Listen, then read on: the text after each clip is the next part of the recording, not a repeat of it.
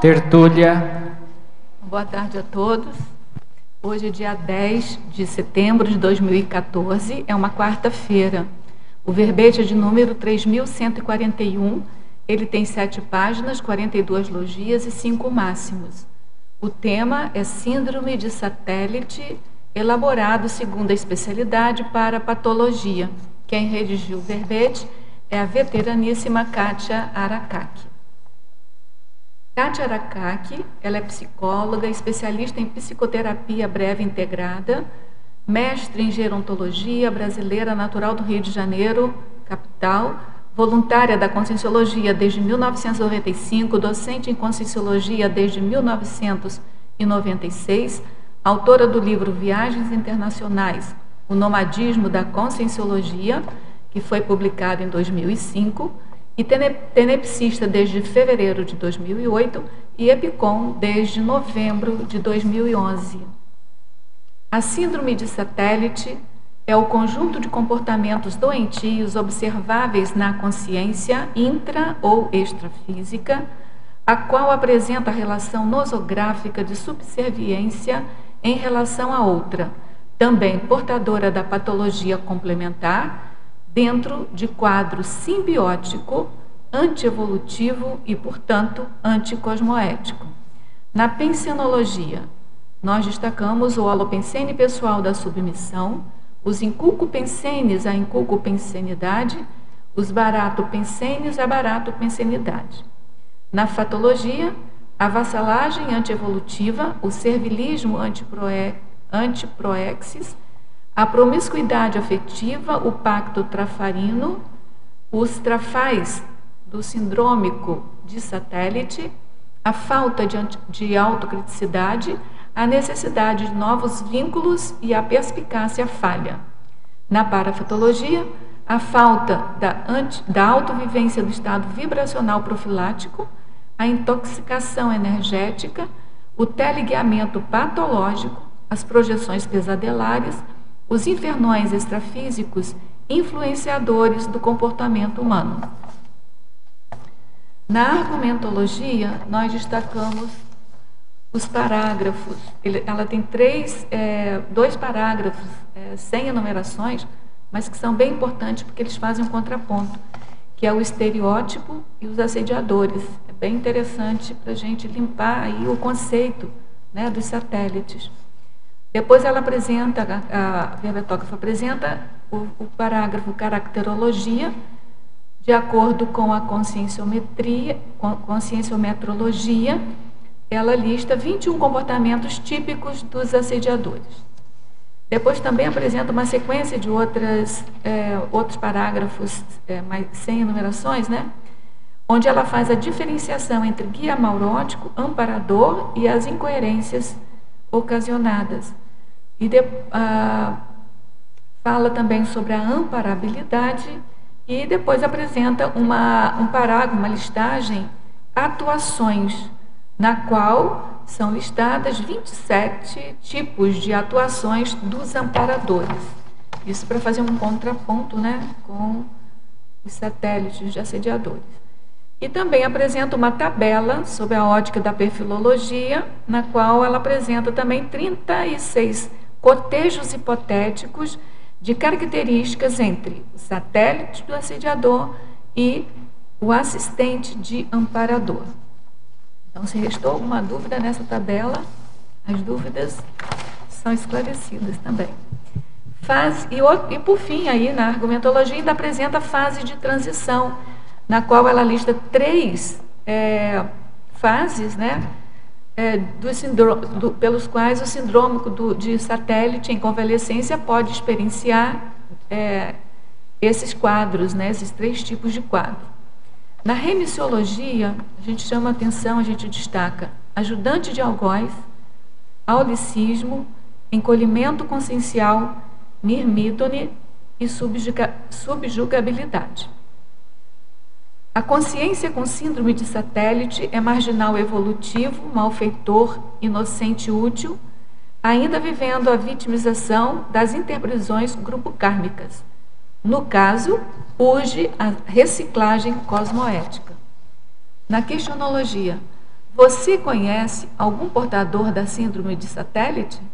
Qual tem sido a atuação pessoal no sentido de tornar as demais consciências mais autônomas? Na bibliografia específica tem uma fonte de referência. Agora vamos ler a mega-análise elaborada pela equipe de mega-análise em Ciclo Sapiens, que é composta por Marilene Raganin, Pilar Alegre, que está aqui presente, e Socorro Frazão. Anticosmoética, subserviência, dependência, acriticidade, antiproexis, servilismo, submissão, interprisão, nosografia, satelização.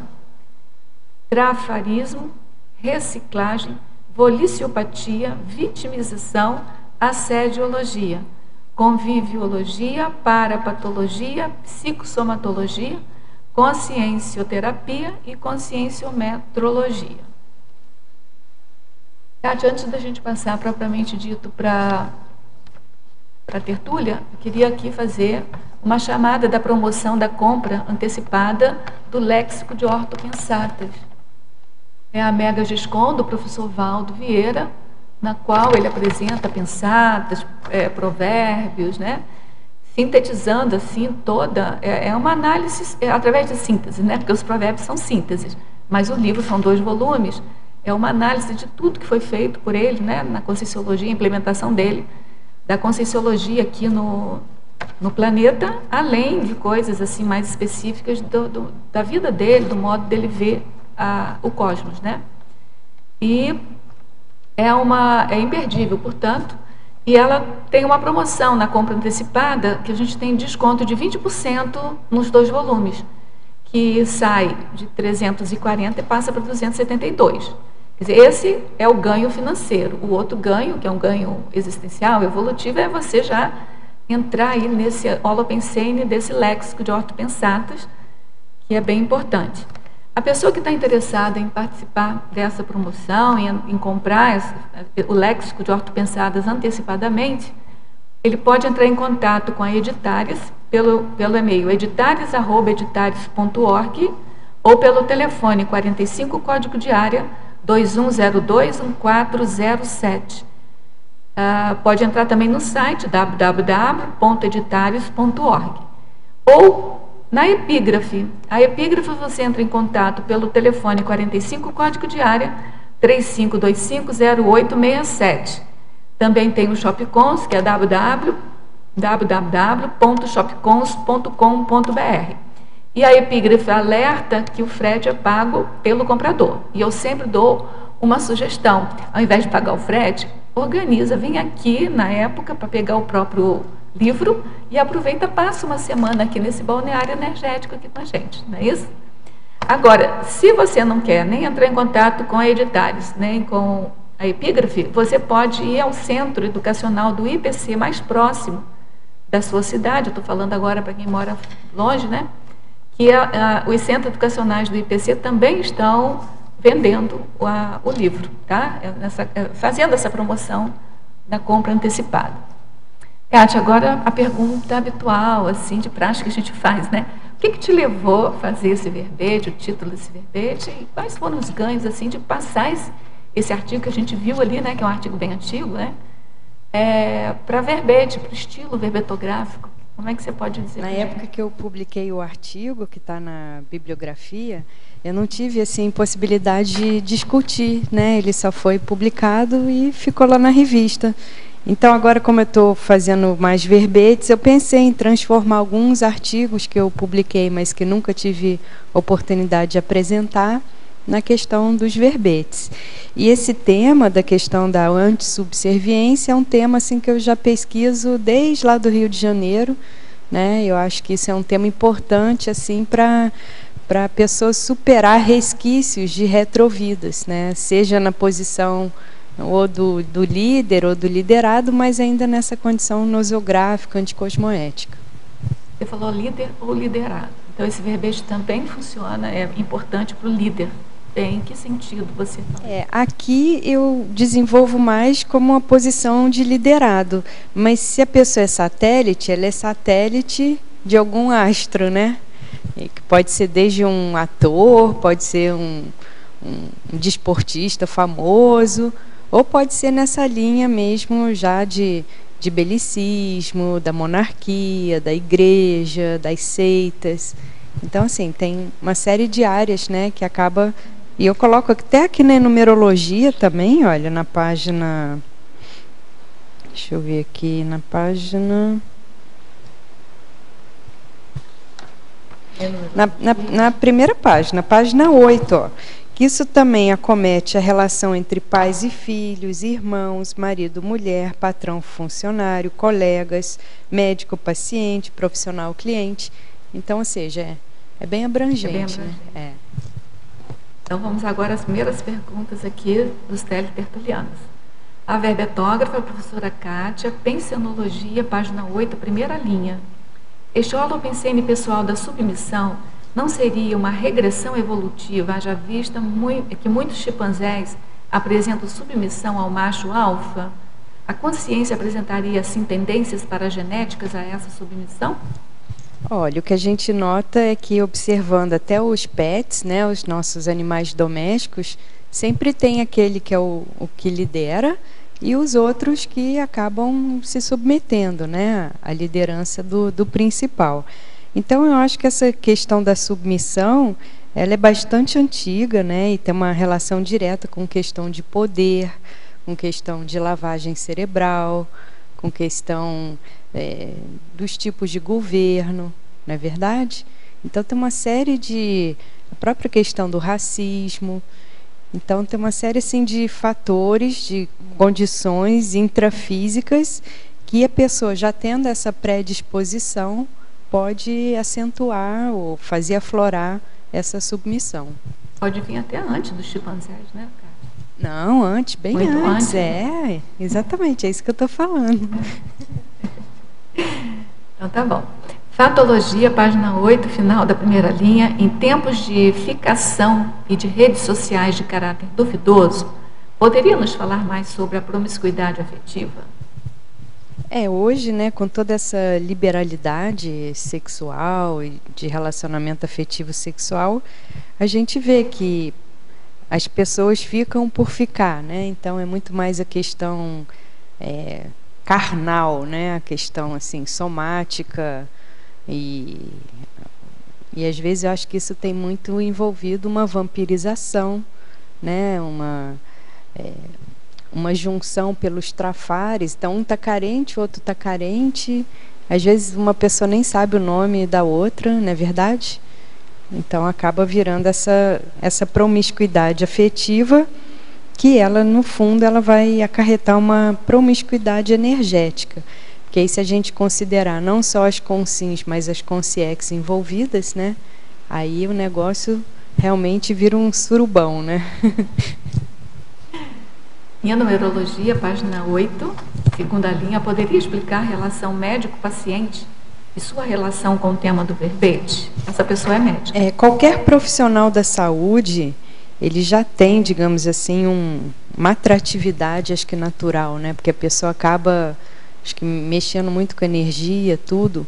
Então, se esse profissional da saúde ele não tem assim um nível ético mínimo, a tendência vai ser de né, manipular os pacientes, os doentes. E aí pode chegar nessa síndrome aí do satélite, né?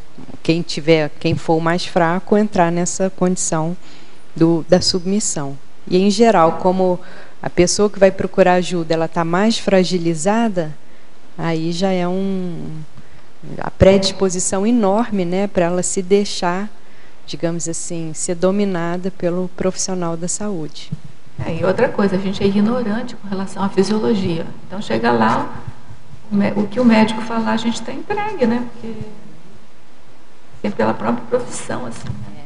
Então, isso aqui a gente vê muito assim nesses profissionais que eles nunca liberam o paciente. Às vezes o paciente ele já podia ter eh, tido alta há muito tempo, mas eles vão criando ali uma relação né, de simbiose, de dependência com aquele paciente. E hum, muitas vezes para ganhar dinheiro, ou às vezes é até alguma condição promíscua mesmo, né, de envolvimento sexual com aquele paciente. Professora Kátia, iniciei a TENEPS há um mês e dez dias. Segui o artigo e verbete da autoqualificação pré-TENEPS e concluí boa parte das otimizações sugeridas. Não tenho contrafluxos. Estou fazendo auto-pesquisa, leitura e considero ter uma auto-organização razoável, onde sou grata pelas tuas informações e outros verbetes e artigos.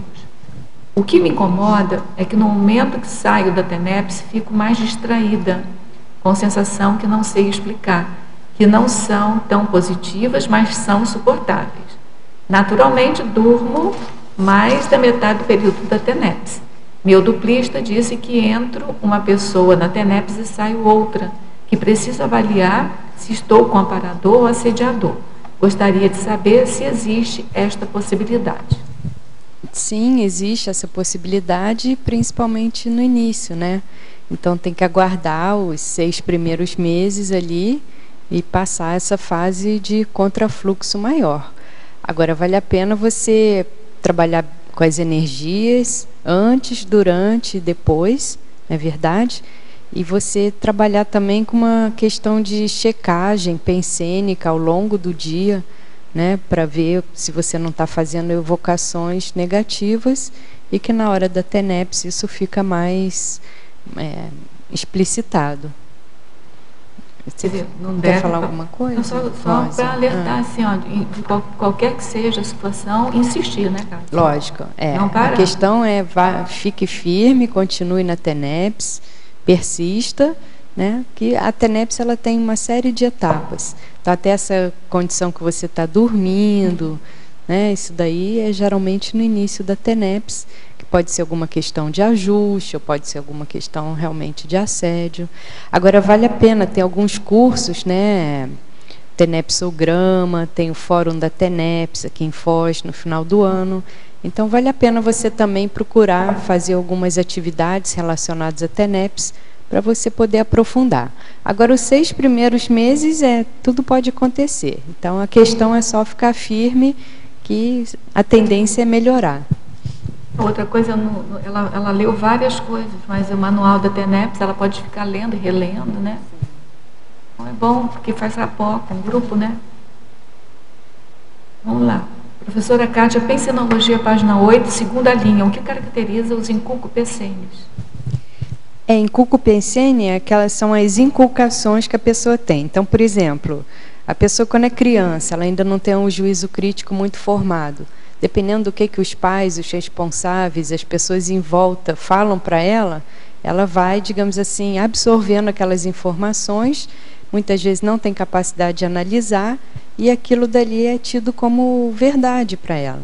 Né? Então, muitas vezes ela vai crescer com uma série de ideias errôneas, disfuncionais, a respeito dela mesma, das outras pessoas, da vida, da realidade, em função dessas inculcações que foram feitas numa fase que ela não tinha lucidez suficiente para poder rechaçá-las. Fatologia, página 8, final da segunda linha. O que vem a ser a voliciopatia?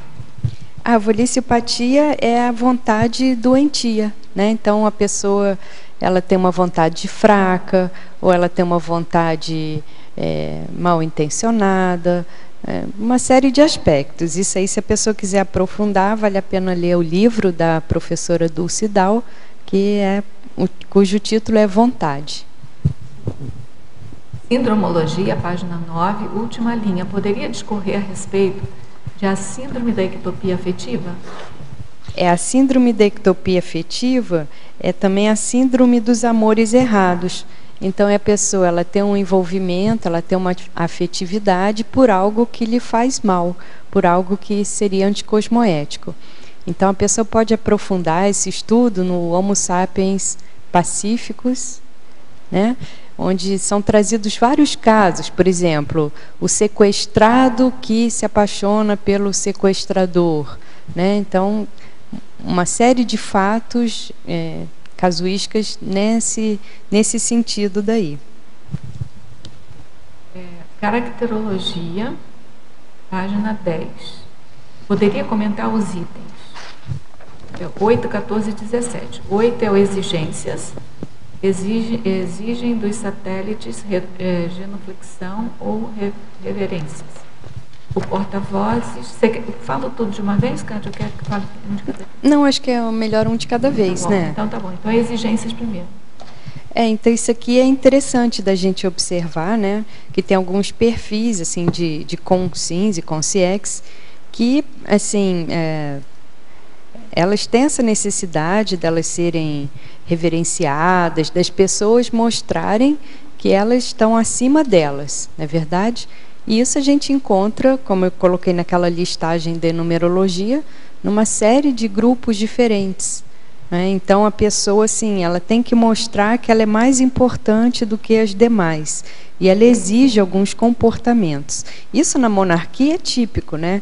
Então, você não pode em algumas tradições, você não poderia olhar no olho do monarca, você não poderia é, estar de frente, você tem que entrar de costas, não, não pode não, ficar pode de costas, você tem que sair de frente, você tem que se curvar, né? Então, todo um salamaleque assim, que é justamente para demarcar uma relação de poder em que um ele é inferior ao outro, né? Que mostra que uma pessoa ela está numa condição, no status inferior ao outro. O outro é o 14, porta-vozes. Muitas vezes usam porta-vozes para evitar confrontos diretos.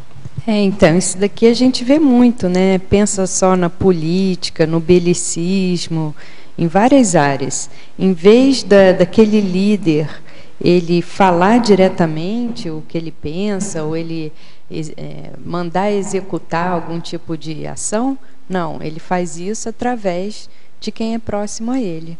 Então ele sempre fica numa posição, digamos assim, mais favorável, mais confortável, e os, os porta-vozes é que vão, digamos assim, enfrentar a situação real. O, o outro é o 17, salvacionismo. Procuram algum mal nas consciências para tratar imperiosamente é, reforçando a relação de poder. E aí o exemplo que foi dado é a afirmativa você é doente. É, então isso é muito comum, né? A pessoa ela tenta depreciar o outro para poder manipulá-lo, para poder, digamos assim, é, ter ascendência sobre ela. E aí, se, se a, o liderado ele é muito submisso, a tendência dele é de acreditar no que ele está ouvindo, né? Muitas vezes ele tem uma admiração muito grande por aquele chefe, aquele líder, e acaba se comportando como tal. Kátia, eu tenho três, três questões. Oi, Tânia. A primeira, na página 8, aqui na a, primeiro item da antonimologia. O que é a satelização do amparador? Satelitização de amparador? Satel é. Você já ouviu, por exemplo, o professor Valdo contar várias vezes que quando aparece aqui um serenão, um evoluciólogo, ele sempre está com uma turma junto, né? Uma turma em torno. Ah, então grupo, são né? esses emissários, sabe, desses amparadores, dessas consciências, consciências, né, mais evoluídas. Sempre estão juntos, né? Então, estão em volta do amparador. Do, do amparador, exatamente. E aqui na síndrome do satélite, é o povo que está em volta do assediador. Do assediador. Tanto é que ele conta, né, na questão do FIEX, o, o mega assediador é levado para o FIEX, e aí os órfãos e as órfãos ficam ali rondando o FIEX, porque ficam totalmente desnorteados. E a segunda, o segunda, a segunda questão é na página 10, caracterologia. São três itens que me chamaram a atenção. Então vamos um de cada vez. Isso. Três, constrangimento. É, então, três, constrangimento. Usam o próprio trafor para constranger as consciências. Então, você já viu, geralmente, né, quem tem a síndrome do astro, a síndrome né, da realeza, tem uma tendência de assim é, querer mostrar que é o tal, que é, que é muito importante, que é o sabichão, que está por cima de tudo, mas de uma forma anticosmoética, né? A pessoa ela tende a, digamos assim, a depreciar quem está em torno. E você chamou isso de trafor, não seria trafar? Se vai constranger... Não, mas é que ela, a pessoa, usa ela a esnoba. melhor, né? É, então ela, ela tem um trafor, tá. em vez dela usar aquilo para fazer assistência, etc e tal, ela usa aquilo como arma contra as outras pessoas. Ah, tá. É página 10, item número 3. 3, constrangimento. Constrangimento. O outro é, é, é o item 7, egolatria. Incentiva Egolatria. Incentivam manifestações exaltantes em relação à própria pessoa. Então, então tá. pensa só nos ditadores, tá. Tânia, tá. né, que faz monumento, faz homenagem, faz banquete, tá. é, faz cartilha, né, e distribui no país todo. Então é todo ali uma condição de, de exaltação da pessoa, faz as as imagens e pendura né, no país inteiro também, muitas vezes com, com a foto. Então é um, é um egão, assim, né? Egão. E a última dessa, dessa página é salvacionismo. É, salvacionismo, então, é, sabe aquela condição de criar dificuldade para gerar solução? Então, em geral, é, existe um perfil de salvacionismo. Tá. Assim, o assediador ele te coloca numa situação ruim, mas aí depois ele vem da um de bonzinho e te tira daquela situação. Mas na verdade ele faz isso só para para reforçar essa relação reforçar de poder, a relação de poder. De, deixar é. dependência. Isso a gente né? vê até em grupo karma nas famílias, não é verdade? Que isso às vezes acontece também, né? Tem ali a pessoa que causa toda uma confusão na família, mas depois vem e arruma uma solução, mas aquilo é sempre para estar tá no comando ali, né? Isso é sério. Kátia, agora na página 13. depois da, do final da tabela, fase de transição. O síndrome, o síndrome de satélite em convalescência. Você pode desenvolver? Sim, isso aqui é que eu acho que em qualquer assim remissão de patologia podem ocorrer essas situações aqui. Então, inicialmente, quando a pessoa está, digamos assim, desconstruindo uma maneira de ser, durante algum tempo ela fica um pouco perdida, porque ela já não é mais aquilo que ela era antes, mas ela ainda não constituiu uma nova maneira de Melhor. se manifestar. Então ela fica nessa situação, né, que parece que está sem chão, não tem referencial, tudo mais. É uma fase de transição. Tem a condição que é inevitável em qualquer, digamos assim, remissão de patologia também, que são as recaídas. Então é por isso que a pessoa ela tem que fazer uma profilaxia para quando ela tiver algum tipo de recaída. E tem a terceira condição, que, em vez da pessoa melhorar, ela, ela passa para o outro extremo da patologia. Então, na verdade, ela continua doente, ela continua anticosmoética, só que a manifestação dela é de um comportamento oposto ao que ela tinha anteriormente. Quer dizer, ela sai do outro e passa o domínio para si, é isso? Da realeza do, ou é então vamos supor assim ó, você já viu aquela pessoa que assim enquanto ela está numa posição de liderada ela tem um comportamento né? Aí ela fala não quando eu for líder quando eu assumir o governo vou fazer vou acontecer. Mas aí ela fica na situação e ela faz exatamente é, igual. quem ela criticava né? Uhum. isso aí a gente tem casos assim nossa, chove de casos, né? Na, na política, em tudo. É, eu tinha pensado em política, isso é bem característica, né? Tem que falar no microfone, você pega.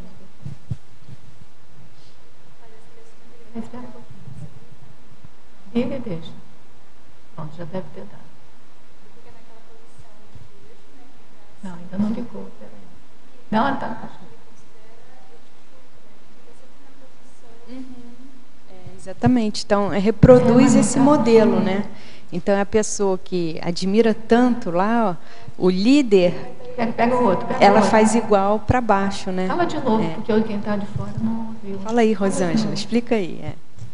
aqui na monarquia, né? Eu já estudo há algum tempo e é interessante que ele é aquela abordagem. Quem está para cima, que a pessoa considera nessa crença, ela está lá venerando, dando beijo.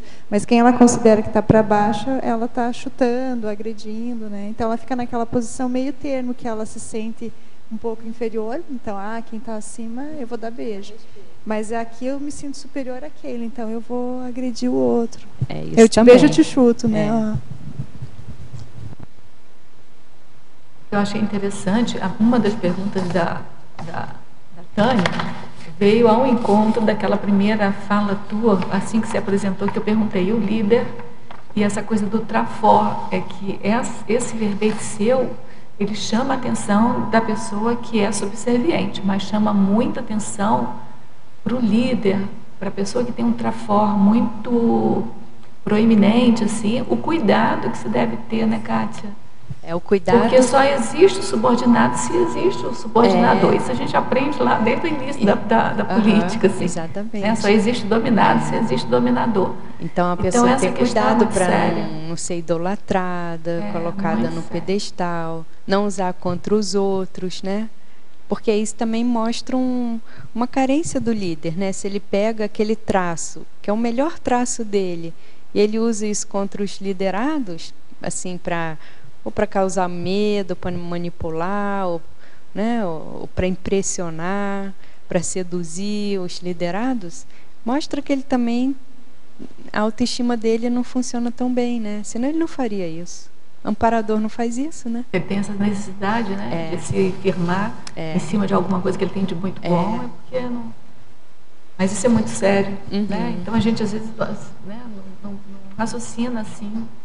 O, só coloca a responsabilidade no outro. Não, o outro é um submisso, não toma conta por si só, não, não, não, não tem atitude Sim. e tal. Mas o que, que você está fazendo uhum. para resgatar? É uma pergunta que você faz aqui, que eu não, não me lembro aonde mais. É fala sobre autonomia, né? Sobre é. autonomia, né? É. É.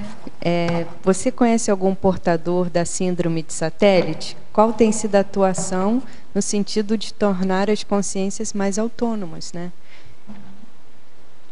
Então isso é muito sério.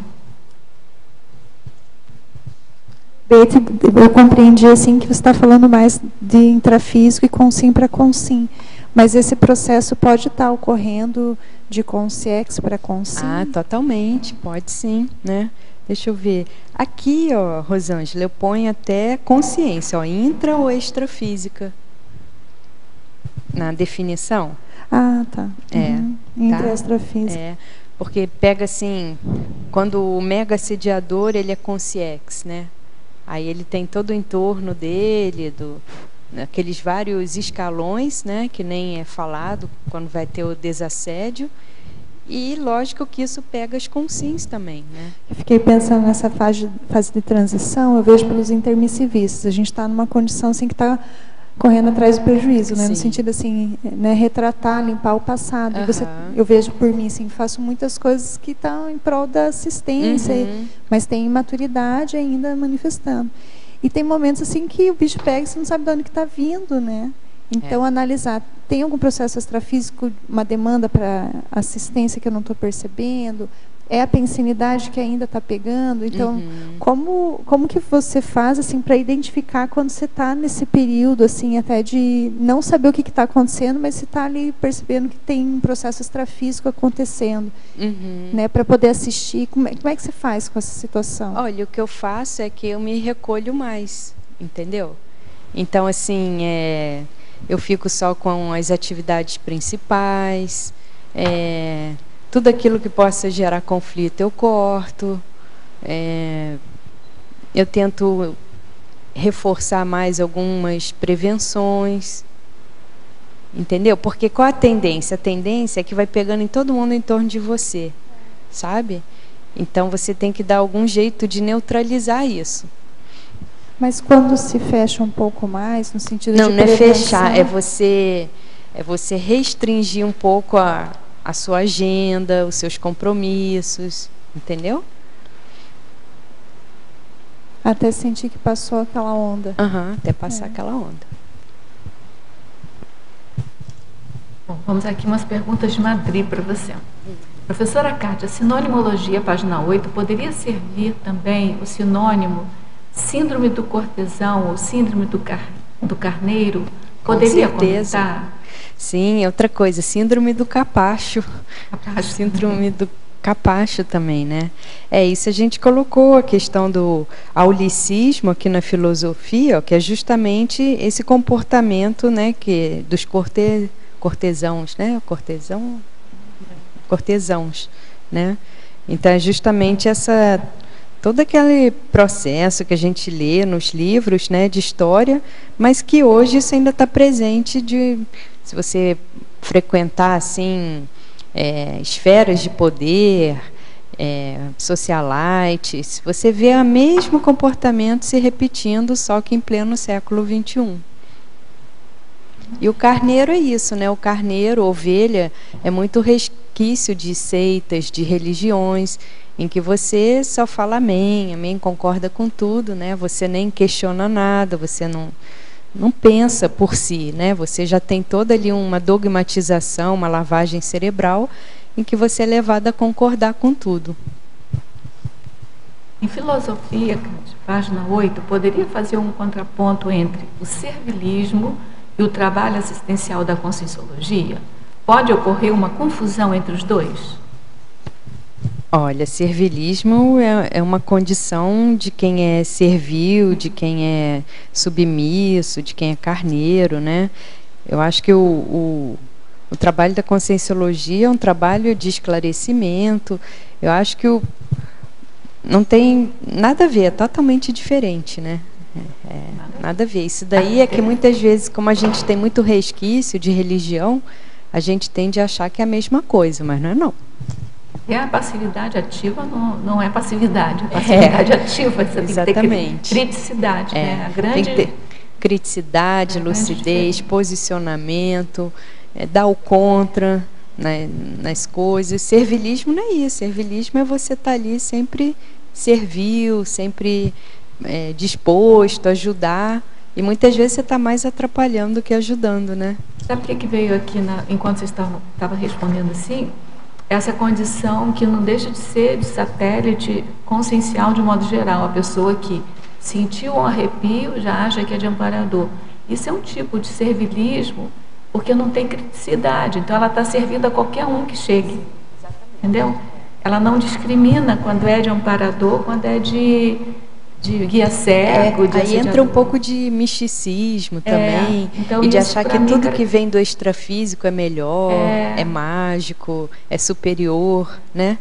E ver das intuições, assim, Exatamente. sem colocar aquilo no papel, ver se aquilo de, tem lógica. A origem daquilo, né? Fazer uma crítica a respeito uhum. daquilo ou pelo menos esperar ver outros sinais para confirmar. Com certeza. Ter assim uma, uma é. condição mais do, do da cientificidade, né? da pesquisa, é, do aprofundamento.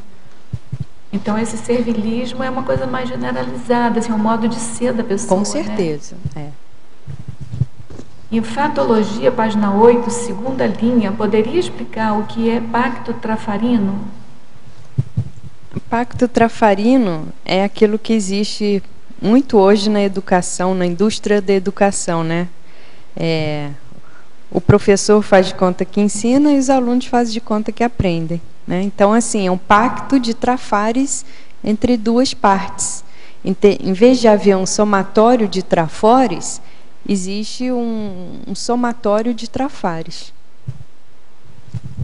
Eu me lembro agora, quando eu trabalhava com educação matemática, a gente fala, dei aula, ensinei o dia inteiro. A pergunta seria, algum aluno aprendeu? Porque às vezes você fala, fala, fala, dá aula, dá aula, dá aula, mas o aluno tem que... Se o aluno não aprendeu, você não fez nada. Né? Não, mas indústria da educação, porque hoje em dia é muito pagou, passou, né? Então é tudo ali acaba sendo um teatro. Vamos lá. Fatologia, página 8, quarta linha. Como remediar a inexistência da autossuficiência? A emancipação seria o efeito contrário? Sim, agora essa falta de autossuficiência tem que começar com domínio energético. Então isso daí, enquanto a pessoa ela tem uma submissão energética, ela fica muito vulnerável, né? Então isso aí tem que começar com o domínio das energias e para a pessoa dominar as energias, quem tem um perfil submisso tem que mudar a pensenidade, né? Porque a pessoa é dependente, a pessoa é muito é, papa-passe, é, ela ainda é muito, digamos assim, é, dependente, carente da energia do outro, do parapsiquismo do outro, do auxílio do outro, e ela tem que começar a gerar isso por si só, né? É, em Fatologia, página 8, quarta linha, como funciona a ausência da integridade na, com, com síndrome de satélite? Ah, porque a pessoa, ela não se respeita, não é verdade? Então ela não tem, não tendo respeito por si, acabou, né? Não tem mais integridade, não é verdade? Os valores pessoais dela são muito corrompidos, porque dependendo, né, de é, com quem ela esteja se relacionando, ela se vende. É, incoerência, página 10, poderia exemplificar?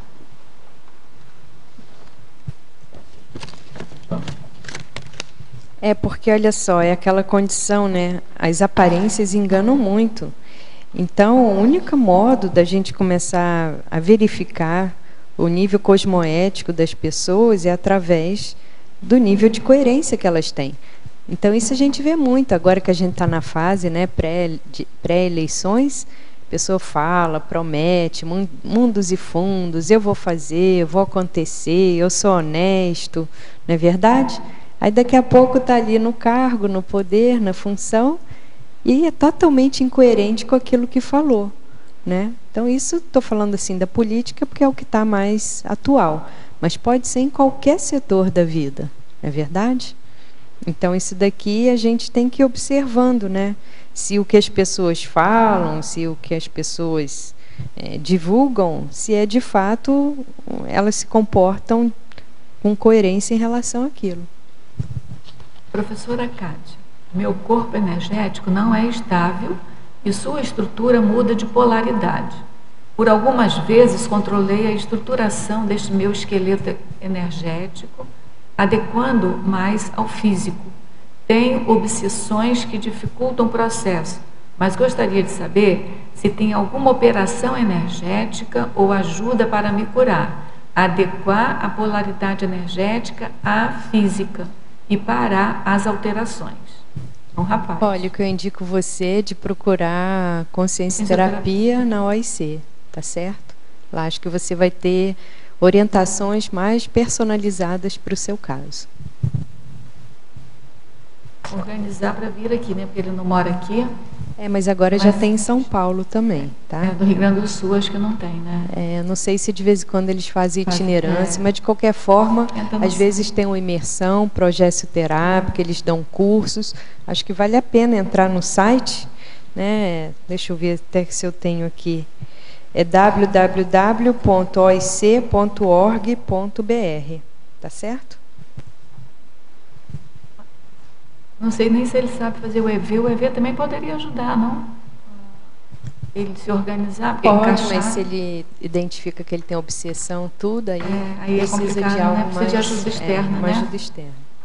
A professora, em numerologia, página 8, poderia relacionar a sequência de itens com o título do verbete? Olha, isso aqui a gente nota. Então, por exemplo, pais e filhos.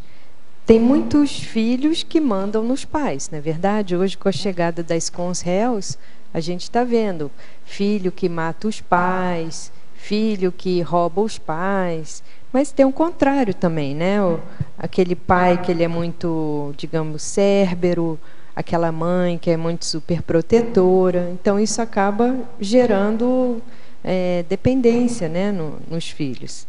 Relação entre irmãos.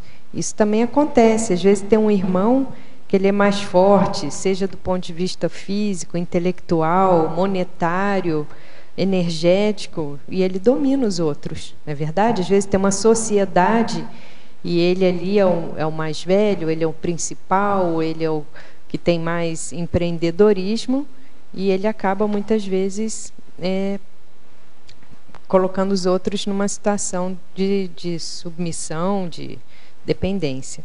Relação marido e mulher, isso daí é só pegar todos esses locais né, em que o machismo ainda é muito forte, não é verdade? Que a mulher ainda é muito submissa. A prova disso é a Lei Maria da Penha, né? É, aqui no Brasil, Lei Maria da Penha, mas pega os países do árabes, Oriente Médio, árabes, pega países africanos, países asiáticos, a própria cultura latina, uma cultura machista, então isso tem demais, né?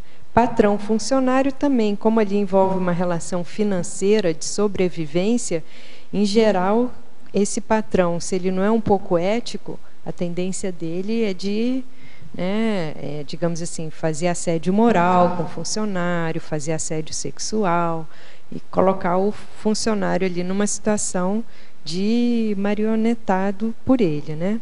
Entre colegas, aí colegas de profissão, colegas da vizinhança, colegas em geral, né? Isso também pode ocorrer. Médico e paciente, porque aqui é uma relação, digamos assim, na área da saúde. Quando a pessoa está sendo tratada, em geral, ela está mais vulnerável. Então, se esse profissional da saúde ele não é um pouco mais também cosmoético, a tendência dele é tirar partido do, do doente. Relação profissional-cliente idem, né? Você pega um advogado, você pega um contador, você pega uma série de profissionais que eles também podem gerar essa, esse quadro daí. Trinomiologia, página 9, primeira linha. Poderia expandir o trinômio abaixo? Trinômio baixa autoestima, autodesvalorização, falta de autoconfiança com a síndrome do satélite? É, então isso daqui, quando a pessoa ela tem esses três tipos aqui de comportamentos, de fatores, é aquilo, né? Ela está pior do que o cocô lá do cavalo do bandido, não é verdade? Então a pessoa ela fica muito fragilizada. E aí qualquer pessoa que faça ela se sentir um pouco melhor, ou que ofereça uma proteção, ou que faça a pessoa se sentir valorizada, tudo mais, em geral ela vai embarcar, não é verdade? E aí muitas vezes ela não vai ter lucidez suficiente para discernir o quanto aquilo é uma ajuda de fato e o quanto ela está entrando, digamos assim, numa relação que vai ter um custo muito alto. A verbetógrafa, Culturologia, página 10, primeira linha, poderia elucidar sobre a cultura da dependência e suas manifestações na síndrome de satélite? Quais seriam as medidas para descortinar dessa dependência, para descortinar dessa dependência? descortinar no sentido sair, né? De é sair, sair né? É, isso daí, olha, está aqui na página 11, 12, 13, né, que é justamente a questão da desse quadro aqui, ó, o satélite, o dependente, enquanto ele ainda está doente e quando ele começa a melhorar. Então, olha, a pessoa não tem criticidade.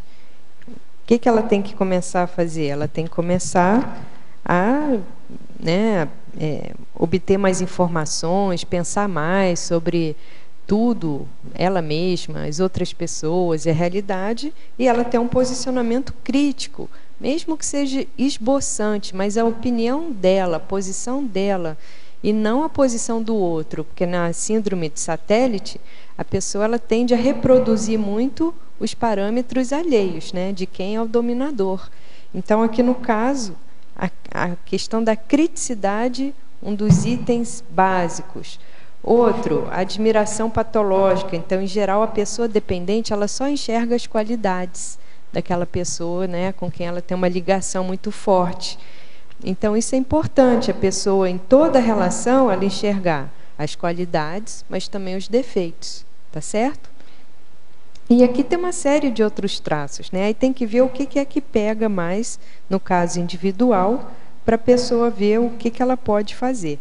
Agora, recentemente foi publicada a revista né, Saúde Consciencial, da Consciência Terapeuticologia, e lá eu publiquei um artigo que também fala um pouco sobre isso.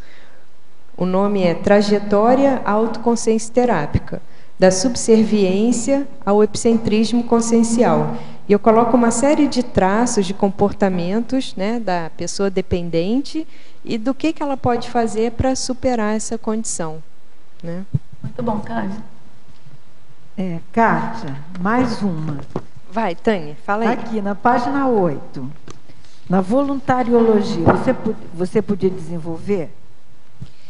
É, voluntários de causas anticosmoéticas, pois né? É. Então a gente vê, né, o, o voluntariado de guerra, o voluntariado qualquer tipo de voluntariado que vá contra né, o, o, direito das outras pessoas. Então, voluntariado não necessariamente é sempre ter positivo, um objetivo né? positivo, né? Não, não necessariamente. Isso daí, assim, agora que eu não me lembro muitos casos, mas o João que estuda isso, ele tem muito cosmograma, né, de voluntariado, que é tudo anticosmoético. Voluntariado de revolução, por exemplo. De revolução, né. Nas revoluções, eu conheço a síndrome. A Tânia, a Tânia conhece essa síndrome, conheço, né? Conheço, mas já tá, conheci, conheceu, conheci, conheceu, superei. mas já sabe superar. Pode fazer um artigo para gente, como superar, né? A síndrome ah, da está guardando, tá? Da guerreira. Na página 9, você poderia falar sobre a crescendologia? Poderia falar dos três itens? Crescendologia? É, na página 9. Então vamos lá. É o primeiro crescendo, ó, colapso consciencial, catarse cosmoética. Colapso consciencial é quando o dependente, o sindrômico, ele entra numa crise muito grande. Então, isso daí pode haver uma saturação né, de uma condição que ele vivencia, ou, por exemplo, ele pode ser deixado de lado, né, porque ele manifestou algum tipo de, digamos assim, ele contrariou né, os interesses ali da, daquela pessoa que, que tinha mais poder, é, por quem ele era dominado, e aí a pessoa muitas vezes vai contra, a pessoa deixa ele de lado tudo mais. Tá? O dependente entra num colapso. E aí ele vai fazer a reciclagem cosmoética. Então aqui é aquela aquela história, né? A males que vem para bem. Às vezes é a única forma da pessoa começar a fazer algum tipo de mudança. Porque ele não tem mais aquela condição de subserviência, porque a pessoa não quer mais interagir com ele, então ele fica em crise. Seria isso? Aí ele vai ter que rever os conceitos, é, o que, ele tem que fazer. Assim, não quer interagir, pode um ser exemplo. uma das situações. É, exatamente. Agora, o que muitas vezes acontece, que o professor Valdo já falou, é assim, um mega sediador, ele é levado para a OFIEX. Aí aqueles satélites todos eles ficam sem temporariamente, mas depois eles vão para outro. Entendeu? Eles viram satélite de outro mega assediador. Então, ele poderia fazer a catarse cosmoética, é mas daí acabou... Pensa em traficante. Tem um traficante, tipo Rio de Janeiro. O traficante domina o morro todo. Aí o traficante morreu, o traficante viajou, se mudou, teve que sumir, fugir. E aí aquela né, aquela, aqueles satélites todos do traficante, temporariamente, ficam totalmente desnorteados. E a tendência que geralmente ocorre é de vir algum outro e, e toma o lugar e ele se, se No caso, não ocorreu a catarse cosmoética dele. Nesse caso, não ocorreu a, a catarse. Né? Eu gosto muito desse crescendo, porque são categorias diferentes, né? Pode parecer que é a mesma coisa, né? Um colapso e uma catarse. Só que o colapso não, não sai, não, não, surge o melhor. E a catarse não, a catarse é para sair o melhor. Então são categorias, são coisas parecidas, da mesma categoria, mas é, paradigmas diferentes, vamos chamar assim. É a mesma categoria de, de reboliço, né? Exatamente. Mas são em paradigmas diferentes. Um é para continuar na mesmice e o outro é para dar um salto de é. qualidade. Uhum. Aí o, o, outro aqui, né? Ó, doente, doente é o sindrômico tá? Pessoa bem dependente, submissa, subserviente. Convalescente é quando ela começa a melhorar. Ex-doente em observação, porque assim, até a pessoa realmente ela se autocurar, isso demora bastante, né? Então tem uma fase ali que ela tem que ficar sobre observação, porque senão pode ter recaída e regredir tudo de novo. E recuperado. Esse exemplo de convalescença, você é, essa crescenologia, você colocou embasado em alguma casuística que você observou? É, é que essa, essa crescendologia, ela está bem explicada no artigo. Ah, tá. É, se você ler o artigo, aí eu explico bastante, assim, sabe? Então é por quê? Para mostrar que a pessoa ela não vai melhorar de uma hora para outra, né? Que tem estágios. Que já está muito tempo funcionando com a Já está muito cronificado. Então, se ela não tiver uma autovigilância ininterrupta, né? Como às vezes envolve muito questão de interprisão grupo kármica, daqui a pouco ela está em outro em outro contexto semelhante. Sabe igual pessoa assim que a pessoa assim está num relacionamento, o relacionamento é ruim, né? Então assim, mulher de bandido, a mulher apanha do marido. Aí tá bom, consegue se livrar daquele marido, mas ela não faz a reciclagem, ela arruma outro marido que também trata ela mal. Entendeu? Então não adianta só mudar as companhias. Se não tiver uma recim, a tendência é repetir e atrair o mesmo padrão. Fiquei pensando com o padrão. Qual drogadicto? Com padrão de pensanidade também. Na hora que você está fazendo a recém um padrão, pode ter alguns momentos que você pisa o pé na jaca e daí tem a conexão com aquelas companhias Exatamente. Puxa né? tudo, é a mesma coisa, não adianta nada. É, faz um arco voltaico na pessoa, arranca tudo quanto é consciência assediador que está ali com ela. Um minuto depois, ela pato penseniza, ela evoca todo mundo de volta. Né? Então, pensa só também a relação traficante com o drogadicto. Uhum. Tem muitas relações assim, né? Olha, lembra daquele rapaz? Isso aqui eu tenho que é, esmiuçar mais. Uma hora eu tenho que Fazer ampliar mais. Né, sobre isso. É, escrever, é, dar bom. mais exemplos, é. tudo, né? Aquele rapaz do Rio Grande do Sul, né? Ele mora em Santa Rosa, lá do Rio Grande do Sul falando que você sugeriu da fazer a consciência terapia. Então veio um recado aqui para dizer para ele, se ele estiver online ainda, que por enquanto em Porto Alegre tem um curso avançado em saúde consciencial ou curso de entrada princípios da saúde consciencial. Então, ah, vale aquele, aquele endereço eletrônico que a Kátia leu, né? Para entrar em contato e procurar, que lá em Porto Alegre deve ser muito mais perto do que Foz do Iguaçu para ele. Mas hoje em dia pega uma, um avião, voo é direto para né? Foz. E aqui pega em Foz uma... tem a consciência terapia intensiva, é, que é cinco dias. É. Eu acho que isso já pode já dar pode... Um, né, um, uma boa encaminhada assim, tá. para o caso dele. Mas, de qualquer modo, o recado foi dado Lógico, que veio aqui é. da, lá, do, na, de Porto Alegre. Agora vem umas perguntas da Alemanha. Professora Kátia, Fatologia, página 8, quarta linha. Poderia falar sobre a, in, a in, não, deve ser incoerência do desapego sadio? Inocorrência. A inocorrência. Inocorrência, é, inocorrência né? Inocorrência do desapego sadio. É, porque eh, aqui essa questão é simbiótica, né? Essa relação do, do subserviente com o dominador, ela é uma relação de dependência, uma relação doentia. E toda relação que tem um nível de dependência patológico, o que, que não seria o nível de dependência patológica? O bebê com a mãe, porque aí o bebê realmente ele precisa, não é verdade? Uma pessoa muito idosa com um cuidador, aí não tem como.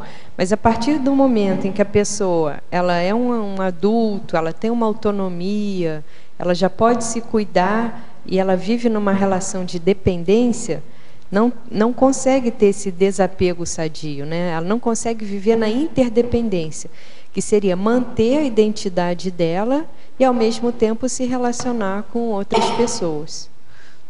Continuando em Fatologia, página 8, quinta linha, poderia aprofundar a necessidade de novos vínculos e, a seguir, a perspicácia falha? É necessidade de novos vínculos, porque o que, que ocorre? É justamente a tendência da pessoa repetir o tipo de relação que ela tem.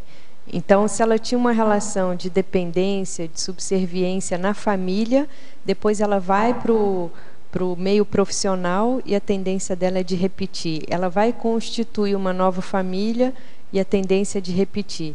Então, novos vínculos aqui, ela vai ter que mudar o círculo de relações, cortar as amizades ociosas, e ela vai ter que estudar o tipo de interação que ela faz. Senão ela migra de um grupo para o outro, mas o vínculo é sempre patológico, é sempre doentio, é sempre simbiótico. Então tem que criar novas formas de se relacionar. começando pelo autorrelacionamento. Como que a pessoa se relaciona consigo própria, né? Para ela ter mais autonomia, mais autossuficiência, né? e aí ela poder se relacionar com as outras pessoas de uma maneira mais sadia.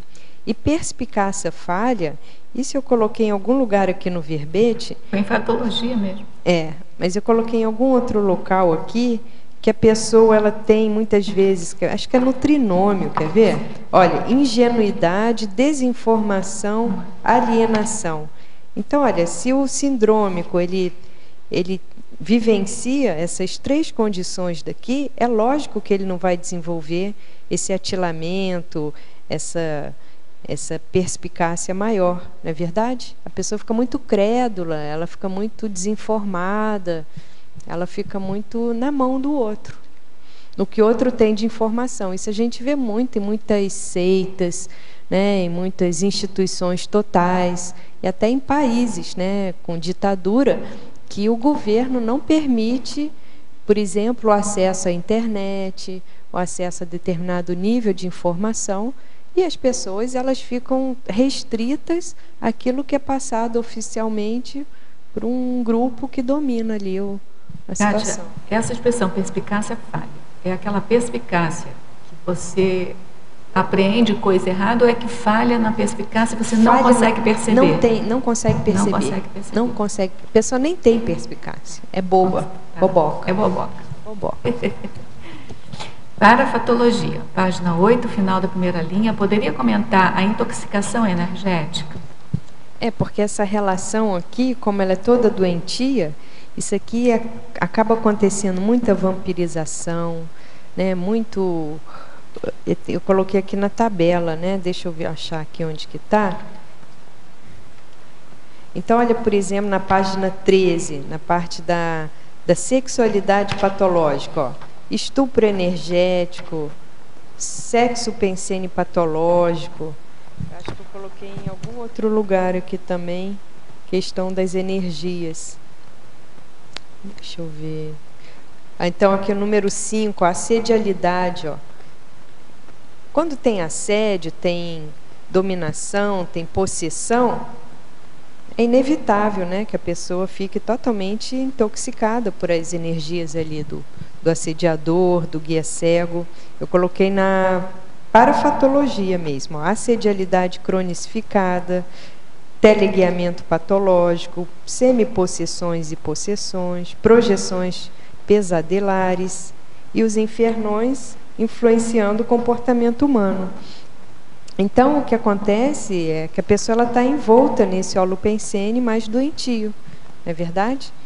ela tem uma dificuldade ali de, de ter ali uma sepsia energética maior. Para a fotologia, página 8, terceira linha, poderia comentar e diferenciar as semipossessões e as possessões patológicas? E a seguir, as projeções pesadelares? É, isso daqui é o seguinte, se a pessoa ela não domina o holossoma, alguém vai dominar por ela. Se ela não toma conta né, do, dos próprios veículos de manifestação, alguém vai tirar partido dessa situação.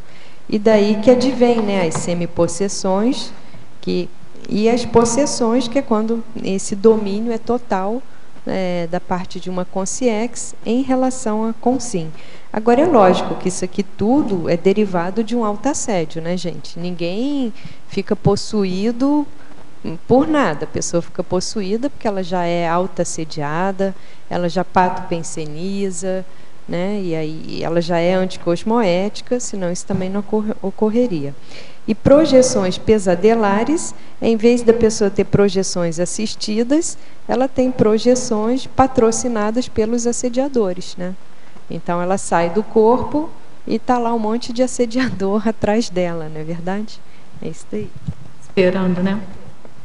Mas isso muitas vezes são as próprias evocações que a pessoa faz. Tá? Isso que é importante lembrar.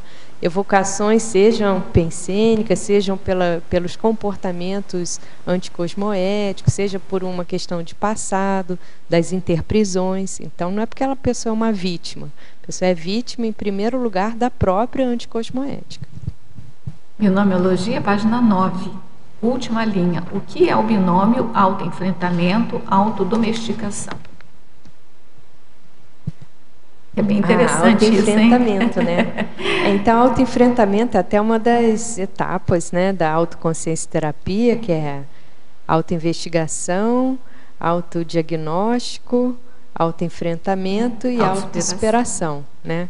Então, autoenfrentamento é a pessoa enfrentar as autocorrupções, os trafares, as dificuldades pessoais, aquilo que é bom para ela e ela tenta evitar, e com isso ela vai se autodomesticando. Autodomesticação aqui seria assim um sinônimo de autorreeducação, tá? Mas a autodomesticação é porque dá mais esse clima assim de, um, de uma coisa mais de bicho, né, daquilo que ainda é muito primário, muito básico, né? Impacta mais a gente. É, também, mais né? impactante em termos de vocábulo, né? Crescentologia, página 9, final da primeira linha. Pode falar do. Você já falou desse crescendo, mas você pode fazer outra síntese. Pode falar do crescendo doente, convalescente, ex-doente, em observação e recuperado? É, esse crescendo aqui é para mostrar que a pessoa ela vai passar por várias etapas. Então, ela vai ter que ter um pouco de paciência consigo mesma, porque ela não vai conseguir, de uma hora para outra, deixar de ser dependente, ficar totalmente curada e pronto, né? Só viver no meio de amparadores. Então, isso é aquela história: você sobe cinco degraus, desce três, sobe sete, desce quatro. Então, nessa fase de transição, que a pessoa está tentando melhorar da questão anticosmoética, tem idas e vindas, né? tem avanços e regressos. E isso daí a pessoa ela tem que se preparar e ela tem que, digamos assim, fazer a profilaxia, é, estabelecer procedimentos para ela conseguir sempre ir adiante, mesmo quando ela ainda recai. Bem, vou fazer, quero fazer dois, duas divulgações agora, né?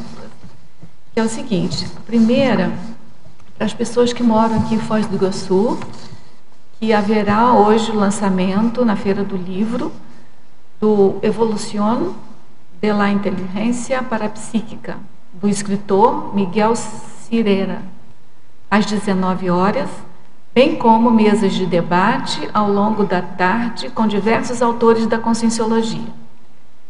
E outra coisa também que é muito importante é que todos os livros da Conscienciologia estão com 20% de desconto até o final da feira no estande do IPC Editares.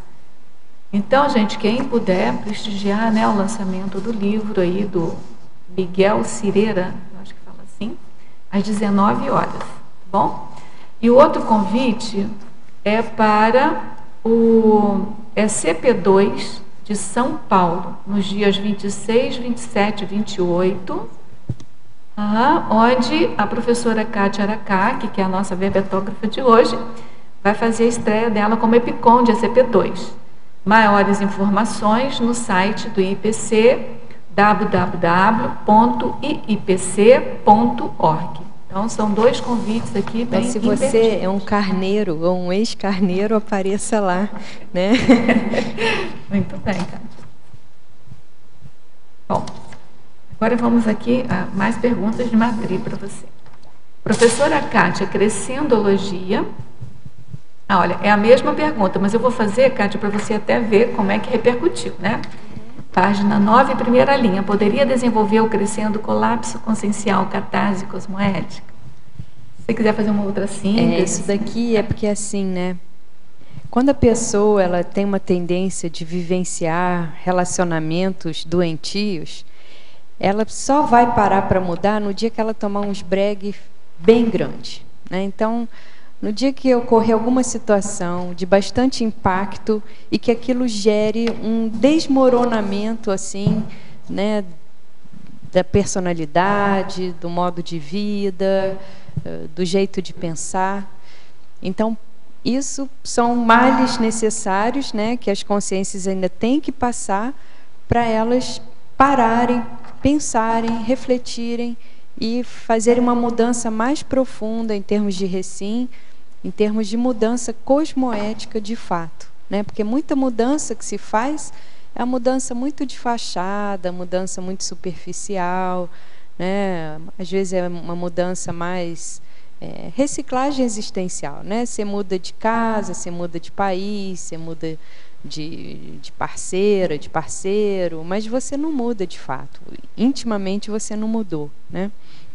Então esse colapso daí é como se fosse assim uma autoimplosão, como se fosse realmente um, um, um limite que a pessoa chegou e que ela entra em algum tipo de surto, em algum tipo de, de crise, de digamos assim, de perder o rumo de casa, né, para ela conseguir fazer um recomeço com o pé direito. Você falou aí em diversos países, eu só estou com perguntas aqui de Madrid, Alemanha, Miami, só. Que bom, né? Aham, o pessoal está né? conectado com a é. Cognópolis. Então vamos lá.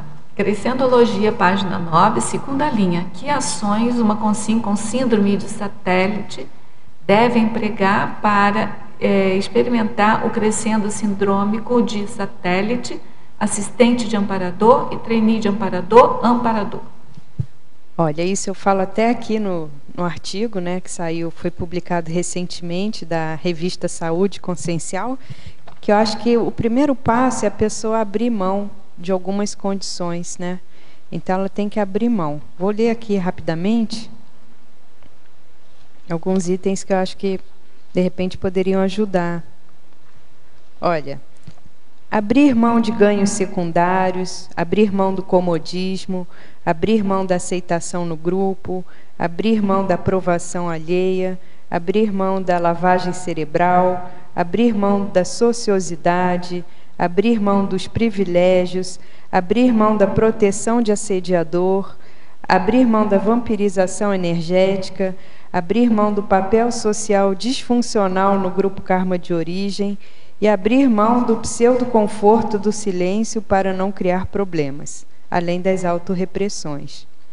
Você pode então, ampliar o proteção de assediador? Proteção de assediador? Isso daqui é igual o traficante, né? Então, gente, o que, que a gente vê lá nos, nos morros no Rio de Janeiro? Como a polícia não funciona bem, a pessoa ela acaba a polícia, como a, a sociedade assim, né, não não funciona com não provê, né, aqueles cidadãos determinadas condições de vida, o traficante faz. O traficante ele faz posto de saúde, o traficante ele faz escola, o traficante ele cuida da segurança do morro e daí você vai e acaba tendo a proteção, uma proteção, você se sente mais seguro, mas é uma proteção de um assediador. Né? E aqui também, olha, alguns tipos de aprendizagem que a pessoa tem que ter para sair da subserviência. Apre aprender a dizer não, aprender a não agradar a todos, aprender a posicionar-se, aprender a pensar por si, aprender a resolver os problemas sozinho, aprender a bancar as próprias ideias e interesses, aprender a autorrespeitar-se, aprender a buscar grupos e holopensenes mais democráticos, aprender a deixar de ser ingênuo, aprender a assumir responsabilidades. Isso aqui tem a síndrome do canguru, né? Síndrome do canguru, até certo ponto, é a síndrome de satélite. A pessoa tem 30, 40 anos de idade, mora na casa dos pais, com todo o conforto e mordomia, mas em troca disso tem a falta da liberdade. Você comentou ali da questão de abrir mão da vampirização, mas é algo nosográfico que faz mal para a pessoa. Como que ela estaria querendo aquilo? Como que seria isso? É a mesma coisa de um drogadicto. Por que, que o drogadicto fica naquilo ali? Não é ruim para ele? Eles querem sair não conseguem. É. Vampirização é a mesma coisa. A pessoa já está dependente daquela relação, daquela troca de energias doentia. Entendeu? É ruim, mas não consegue mais viver sem. Até porque para virar é, passa pela, pela abstinência, né? É, vai ter e uma crise de abstinência. Vai ter uma crise de abstinência. Quando você tira fica... assediador da pessoa, a pessoa não necessariamente fica bem, não. Ela fica muito mal. É. E às vezes até adoece. Já viu o professor Valdo falar que é igual tirar é, berne, né? Do, berne, né? Do, do cachorro. cachorro. pessoa tem muito assédio. Se você tirar tudo de uma vez, ela não, morre. É, ele fala que não Porque pode tirar. são as, as desconexões energéticas, né? Tem muita gente que se sente muito bem, muito poderoso, muito, muito ativo, muito né? ativo, porque a pessoa está muito conectada com o assediador. Entendeu? Se deixar a pessoa menos assediada, ela fica bem mais fragilizada, ela não tem aquela vitalidade toda. Olha como que é um ditador. Pega um Hitler, pega um Stalin, pega esses ditadores, né? De onde vem aquela força, aquele, aquilo tudo? Não é só da consciência, aquilo é porque tem muita consciência ali, né? É, em, colocando energia no processo. Na página 10, por favor, ali no 20, é, trafarismo, na caracterologia, né? Reagem quando as é, isso, isso aqui é um excelente teste, né? Porque você quer ver se uma pessoa é amparadora ou é mais assediadora? Amparador você pode criticar, amparador até gosta. Assediador, você criticou, nossa, ele reage na hora, né? A pessoa pula no seu pescoço, não é verdade? É amparador não, é até orientado, né? É sugerido de você interpelar, você questionar o amparador.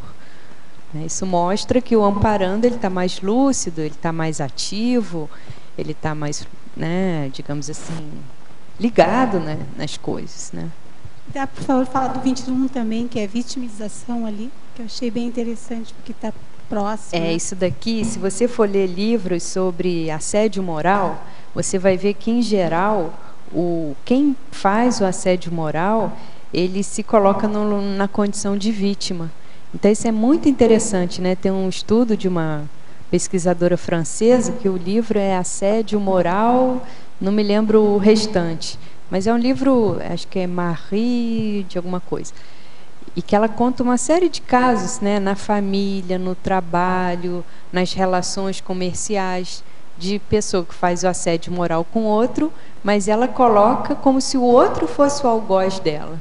Ela está ali chupando o sangue né, da pessoa, mas ela se coloca num papel de vítima. Ela inverte os papéis e aí isso confunde. Se a pessoa já é mais bobinha, mais ingênua, ela não entende, ela acha que ela que realmente está fazendo mal para o outro. Ah, poderia ampliar um pouquinho que seria mesmo o guia amaurótico? Guia amaurótico é o guia cego, né? Mas então, tem uma diferença, né, professora? Porque o guia cego. É que o guia cego, assim, é igual a questão da Umbanda, né? É, quando precisa favorecer para um lado, favorece, quando precisa para o joga em todas. Entendeu? Então é um, é um comportamento muito bifronte que tem. A maurótica é a mesma coisa que cego. É, é não, é mas ela quer, ela quer saber o, a não, conteudística de guia cego. Não, sim, mas ela queria saber a diferença entre guia cego e amaurótica. Ah, não, guia cego e amaurótica é a mesma, é a mesma coisa. coisa. É a mesma coisa, só para ficar no politicamente correto, é. tá? Mas o guia cego é esse, que por um lado ele favorece, por outro lado ele joga tudo no buraco. Então ele ainda oh. tem uma cosmoética muito falha. Kátia. Oi. Na mesma listagem que elas estão perguntando, Pode comentar o item 3, constrangimento, é, usam o próprio trafor para constranger as consciências. Queria entender como é que é esse fato. É, então, isso aqui, Neide, é assim, ó. Você já viu, o amparador, ele pega o, o que ele tem de melhor para ajudar os outros, não é verdade? Assediador, não, ele pega o que ele tem de melhor para esmagar os outros. O, o que ele tem de melhor. Então, vamos supor, ele é muito bom para falar publicamente. Em vez dele usar isso para ajudar as pessoas, ele usa em benefício próprio, entendeu? Não, é o dele. Né? Obrigada. Cátia, professora Kátia, tem um amigo que tem a síndrome de satélite. Tentei várias vezes ajudar, mas ele acha que é, ele é o correto. Então decidi me afastar. Você teria outra recomendação? De Miami, essa pergunta. Aí tem que ver qual o nível de convívio que você tem com a pessoa, né? Eu acho que tem que ajudar a pessoa até o ponto que não vai ter um, um acompliciamento, não é verdade? Se você está vendo que a pessoa está numa situação muito séria, você já tentou, fez tudo, a pessoa não reage, Aí também você tem que ver se você ficando ali do lado dela, você não estaria assinando embaixo do, do, do, que, né, do que ela está fazendo. Não pode seguir, né? Não pode seguir a pessoa. Né? E outra coisa, em matéria de assistência tem aquela condição básica, né? Tem tanta gente precisando e querendo assistência. Então, às vezes, quem, quem não está nem aí, é melhor a gente deixar de lado mesmo. Não tem o que fazer muito naquele momento, né? A pessoa não está assistível, ela não está aberta a ser assistida, a ser ajudada, não é verdade? Aí se você insiste, você vira assediadora da pessoa. A não ser que seja um caso extremo, né? Uma situação muito séria que aí, dependendo do nível de relação que você tem com a pessoa, você pode fazer uma intervenção. Mas se não, você tem que deixar. A pessoa tem o direito, para o direito dela, né, de ficar naquela condição. Agora é uma condição assim bem, bem estimulante para a gente que quer aprender a fazer assistência, porque tem que pensar no mal que a pessoa faz sem pensar mal da pessoa, né, é, Kátia? Exatamente. Então, assim, vai afastar da pessoa, porque não tem jeito, mas não pensar mal dela. É. Se fizer a TENEPS, põe na TENEPS, Sim. joga sempre energia uhum. para a pessoa, sem pensar mal da pessoa. Da pessoa, é. Isso é um desafio, assim, acho que é um dos maiores, assim, pelo menos no meu estágio evolutivo, esse está sendo um dos maiores. Mas é que às vezes a pessoa, é, quando ela corta o contato, ela também corta o contato com aquele holopensene, aí ela não penseniza, entendeu? E é, o que você sugere, assim, porque não vai afastar, mas você quer dar um toque para ajudar, mas não sabe como chegar, como abordar, porque às vezes a pessoa está tão intra que ela não consegue perceber, né? E você tem a necessidade de chegar, mas não sabe como. É, mas aí, Dalva, tem que ver assim, essa, esse querer chegar para ajudar é porque a gente fica incomodado de ver a pessoa naquela situação Sim. ou é porque de fato a gente quer ajudar? Porque às é. vezes assim, a gente quer ajudar porque a gente quer que a pessoa melhore, porque a gente não aguenta ver aquela pessoa numa situação que ela está, é, entendeu? Então é muito mais assim, porque a gente a gente tem dificuldade de lidar com aquele quadro, sabe? Mas se for para unir, tanto você quer ajudar, né? Ah. E tentar tirar ela daquele não, mas você está entendendo? Porque assim, ó, Sim, se a gente quer ajudar, porque a gente tem uma dificuldade de suportar, ver aquela pessoa numa situação precária, aí a gente não tem tanto interesse em ajudar. A gente está querendo aliviar nosso próprio sofrimento. É o nosso sofrimento, entendeu? Porque isso muda tudo, que é a questão da intenção. É, mas se for, no caso, a intenção de, de ajudar a pessoa, não, mas aí é isso que você tem que ver. Você quer ajudar a pessoa simplesmente por ajudar a pessoa, você quer ajudar a pessoa porque ver a pessoa naquela situação te incomoda. Se te incomodou, aí você já não quer mais só ajudar a pessoa, você está querendo ajudar você. Mas se for o processo de ajudar os dois, pronto. Olha a profissão. Eu preciso fazer alguma coisa para que ambos fiquem, né? Kátia, posso dar uma experiência minha? Eu já passei várias situações dessas na minha família. Por favor. E aí tem até um verbete que eu fiz, que até quem me ajudou, o título foi a, a Kátia, que eu, eu sigo aquele um pouco que é a isca resgatogênica. Uhum. Tenha calma, espera algum momento oportuno para falar uma palavrinha que seja para que daquela palavrinha mais tarde vai acontecer algum problema. A existência humana é muito rica em problemas. O processo é demorado. Então, então, mas assim, tem que ter paciência. Aí quando acontecer alguma outra coisa, você diz assim, resgata aquela conversa, entendeu? Vai falando aos poucos, assim. Não é com qualquer pessoa, estou falando assim, principalmente quando a pessoa não, tá, não tem conhecimento da Conscienciologia não tem abertura para evolução, não entende o processo evolutivo, não adianta você querer colocar. E outra uma... coisa tem muito assim, quem é que ajuda? Porque às vezes a pessoa, ela está precisando de ajuda, ela até quer ajuda, mas ela não quer a sua ajuda. Só de você assim tentar se aproximar da pessoa, a pessoa já é, vira porco espinho, entendeu? Porque ela está com algum problema com você. Aí não adianta também. Agora você pode... pode ter todas as soluções para a vida dela, mas ela não te aceita como uma assistente dela, entendeu? Aí põe na TENEPS, interioriza as melhores energias. Nem tudo precisa ser falado, sabe, Dalva? Agora tem que ficar muito atenta, porque quando você menos espera, você tem uma brechazinha para você pegar por ali, entendeu? É isso que eu chamo de. de é, é uma, uma sutileza que dali você pode entrar e usar aquele problema da pessoa e fazer ela entender por aquele problema. Mas aí tem que ver o timing dela, não o seu não timing. O seu. Ficar muito atenta a Timing da pessoa, momento. é. Uhum, obrigada. Professora Kátia, polinomiologia, página 9, segunda linha. Poderia falar sobre o polinômio? Ilusões, expectativas, adversidades, frustrações? É, porque o, o- esse dependente, subserviente, às vezes é uma pessoa assim muito ah, da idealização, da fantasia, ah, de achar que todo mundo né, é bom, de que não tem maldade no mundo, e isso vai criando uma série de expectativas. E quando a pessoa enfrentar determinados problemas, ela vai ficar frustrada, né? Então vamos supor, ela coloca ali uma pessoa no pedestal, né? Começa com essa admiração muito forte que acaba virando uma admiração patológica. Isso cria uma série, digamos assim, de expectativas em relação ao comportamento do outro. Mas se ela continuar convivendo com a pessoa, vão aparecer os trafares da pessoa, tudo mais, e ela vai se decepcionar. E aí a culpa não é do outro, a culpa é dela, entendeu? Porque é ela que emoldurou o negócio, né? É, edulcificou, colocou assim uma auréola em quem não tinha, né? Considerando que temos é, da evolução biológica o comportamento atávico de submissão, concorda que o enfrentamento da síndrome de satélite precisa vir apenas necessariamente com recins profundas do indivíduo?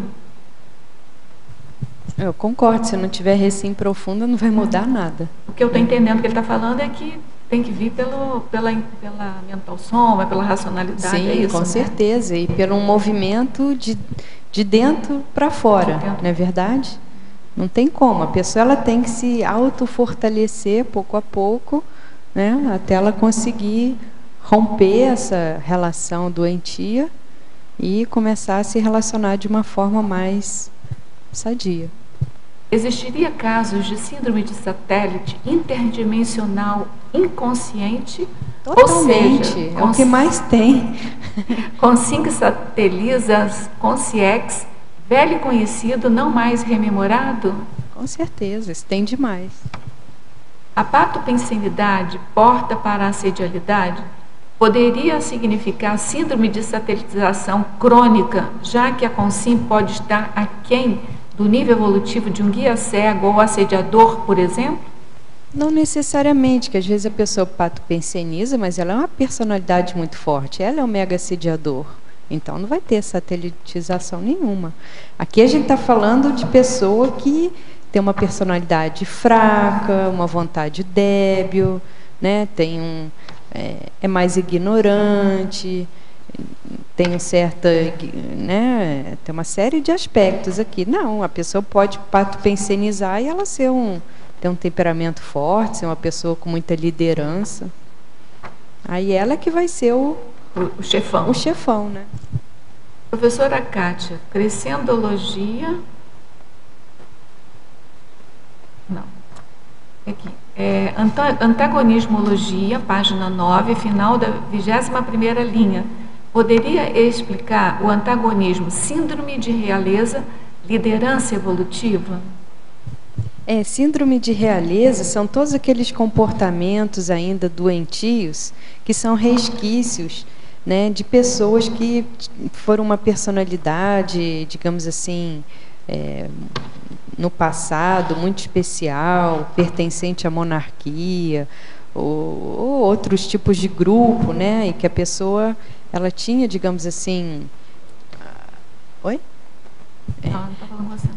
É, ela tinha um- uma condição de liderança, mas doentia, tá certo? Então você pega todos esses reis, as rainhas, os faraós, é, esses que eram os representantes de Deus na Terra, né, ou grandes magnatas, pessoas que tinham muito poderio econômico, tudo mais, e que acabam tendo resquício desse tipo de comportamento, de serem muito o tempo todo insensados, admirados, e ninguém discordava deles, né? E a liderança evolutiva já é totalmente diferente, né? Seria a condição da pessoa ter uma liderança mais cosmoética e começando pela autoliderança, porque o que a gente nota é que muitos desses líderes das enciclopédias eram pessoas que tinham trafares que mostram claramente que eles tinham uma autoinsuficiência muito grande, né? Em Só vou fazer um comentário nesse perfil também. Estava comentando, estava pensando nos santos, nas pítias, nos médiums, que é, síndrome da realeza, eles estão numa condição diferenciada e as pessoas ficam correndo atrás dele, pedindo as coisas, né?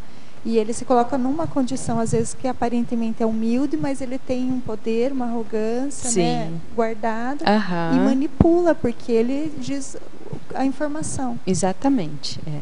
Todas essas personalidades que tiveram um destaque, que socialmente eram tidos como superiores, né?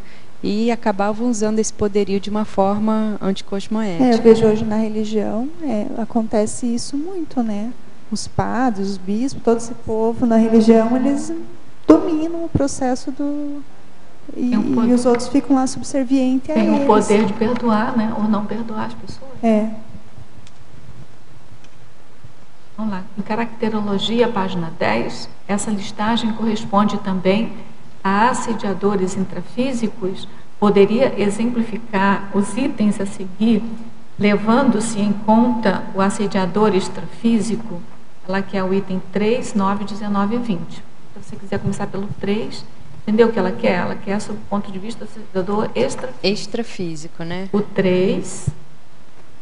O 3, o 9... 9, 19 e 20. 20. Deixa eu ver como, como que eu vou explicar isso do ponto de vista extrafísico. É muito, é muito igual, né, do intrafísico, né? Uh... Olha, o, o, o, constrangimento é o, que, é, é, é, o que o assediador extrafísico faz. Mas faz, né? Ele fica observando a gente, quer dizer, já tem o trafor da observação. Uhum. Né? tem o trafor da, que a gente pensa que o assediador não tem energia nenhuma, né? Mas tem, então ele, ele fica inspirando a gente. Ele usa os trafores dele para ir no ponto, no, no agórdio da gente. Só esse trafor que ele tem de conseguir no nó ah, da gente. É, esse seria um bom exemplo. Não é? Sim. É, pega na, pega na fragilidade maior, maior né, da pessoa. Ele usa o maior trafor do detalhismo dele, uhum. da e pela cuidade dele lá, para poder pegar ponto, a gente no ponto fraco, no maior mega trafar é. gente. Muito, muito Se bem for lembrado. ver no belicismo, tem muitos estrategistas, e eles são muito detalhistas, observadores, e percebiam muito bem para poder atacar. Mas aqui é que é um exemplo ele, de consciência. Mas daí eu estava pensando, essa consciência, futura consciência ou já consciência, ela tem essa habilidade de se fora e pode utilizar dessa maneira anticosmoética daí gerando esse constrangimento, mostrando trafar, o incômodo do outro, e a pessoa vai ficar acuada, não, não vou. É. O Sorvaldo, ele comentou, uma vez ele É outro comentou, exemplo da pusilanimidade, né? Quando é. os assediadores identificam, muitas isso, vezes, o intermissivista isso. aqui, né? E aí a pessoa está ali tentando isso. fazer acontecer na ProEx dela, e eles vão minando ali é, fazendo a pessoa se sentir mal na situação. Eu lembrei quando ele falou uma, uma, uma coisa assim, ah, tá lá na lagoa e daí sai correndo, né? Porque eles identificam, você está lá na situação, eu não lembro bem como é que é a relação que ele fazia, mas mais ou menos isso, você está lá com um grupo, mas daí te identificam e você às vezes não dá conta, porque o povo vem cobrar, né? Mas essa identificação que eles fazem da gente, é um trafor que eles têm. Eles identificam Totalmente. a gente. É, Ainda é um mais eles, eles, começam, nem que seja de memória deles, né, de rancor deles, mas é um trafor. Que aí vão no nó gordo da gente. E, né, e se você bobeia, você, você cai. Embarca, entra na onda. Qual é o outro item, então? O nove, o nove. Infantilização. Então, é, puerilizam satélites gerando dependências. Aqui um exemplo extrafísico, né, também, que ela queria. Ah, eu acho que isso daqui, é, os assediadores, que eles estão sempre promovendo aquilo que, que são os caprichos das consins, né? Então coloca a pessoa em situações que é o sonho dourado da pessoa, por isso que tem até a condição de não começar até NEPS se você ainda tem muito sonho dourado. Porque assediador vai chegar e vai te oferecer justamente aquilo que você quer e você vai desviar ali do seu propósito. É. Acho que esse. O 19 19, sedução. Fascinam os satélites pelos pontos fracos. Esse aqui é bem fácil, né? Esse aqui é tanto o homem ou a mulher que está lá carente e aparece, né? Aquela consciência lindérrima, tudo mais, né? É. Então, vamos supor, você é um homem, aparece aquela mulher super sexy, bonitona, e às vezes que tem por trás é um homem ali horroroso tentando vampirizar as energias da consim, né? Que é bem a, o íncubus, o sucubus, né? É. E o 20, Kátia? Reage enquanto criticado, geralmente não mostrando defeitos. Eu acho que isso daqui, na, isso daqui, mesmo sendo consciex, eu acho que é interessante que pega também nas consins, né? Então vamos supor assim, você você às vezes vai falar uma fazer uma heterocrítica para uma consim e a, consim hiperreage. E ela hiperreage por quê? Porque tem um assediador ali atrás e na hora que você toca no ponto que é justamente a conexão da consim com a consciex, o assediador ele ele pula, né? Porque senão ele vai perder a presa. Isso aqui é técnica de desassédio, né? Então, para quem sabe fazer desassédio bem, é só fazer uma crítica ali mais forte para com cinco, o assediador da pessoa vai pular no seu pescoço, e aí, se você tem gabarito, competência, você leva ele para casa e dá um encaminhamento, né? Professora Kátia, trinomiologia poderia citar exemplos do trinômio baixa estima autodesvalorização e falta de confiança? Então, isso aqui vamos pegar, por exemplo, o caso um adolescente, né? O adolescente ele está lá e ele começa a achar que ele é feio, que ele não arruma namorada, que ele não é tão inteligente quanto os colegas. Então, pronto, ele já tem uma, uma estima baixa, já se autodesvaloriza e aí, consequentemente, tudo que ele vai fazer, ele desiste, ele não consegue chegar até o fim, ele acha que ele não é capaz. Ele começa uma faculdade, começa outra, mas não vai adiante. Tá certo? Então, seria um exemplo disso daí. Culturologia, página 10, como funciona a cultura da assedialidade? Cultura da assedialidade é um pouco a cultura da baratrosfera, né? É uma pessoa assediando a outra, um grupo assediando o outro, ou seja, é um cultivo da questão anticosmoética, da questão dos assédios, dos autoassédios, os assédios interconscienciais, intragrupais, intergrupais. É justamente o oposto da cultura da amparabilidade, né? Então, assim, se você pode fazer tudo ficar pior, por que não? Né? Cultura da sedialidade. Essa que é a maior lei deles, né? o maior princípio. Estereótipos, página 10. O assediador pode ser confundido com amparador, Kátia? A pergunta, pode ser, o assediador pode ser confundido com amparador? Será? Pode mesmo? Lógico que sim. Lógico, pode sim. Por quê? Porque a gente tem muito estereótipo né, do que, que é amparador, do que, que é assediador. Se chegar uma pessoa aqui falando mais grosso, mais brabo, a gente vai falar, nossa, isso aí parece um assediador, né? Sim, quem já tem um, uma coisa, uma dificuldade de lidar com esse tipo de perfil. E se chegar aqui alguém com aquela voz muito mansa, tá? Ah, isso deve ser um amparador, porque olha essa voz melodiosa, né? E não tem nada a ver. Tem que ver a questão cosmoética, da coerência, dos comportamentos, da verbação, do que, que o, o contato com essa pessoa te causa. Né? Então, eu, uma vez eu estava conversando com o professor Valdo, falei, assim, falei alguma coisa, ah, isso é, é uma congel. Não, professor Valdo, a pessoa é, é um gentleman. Educadíssimo. Você pensa o quê? Pensa que não tem assediador de é, o caso também de Dom Juan, né?